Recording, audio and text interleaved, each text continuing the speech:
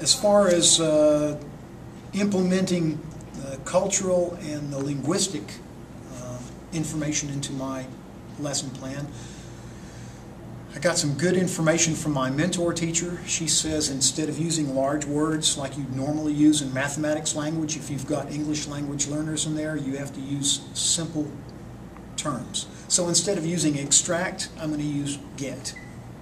Keep it simple.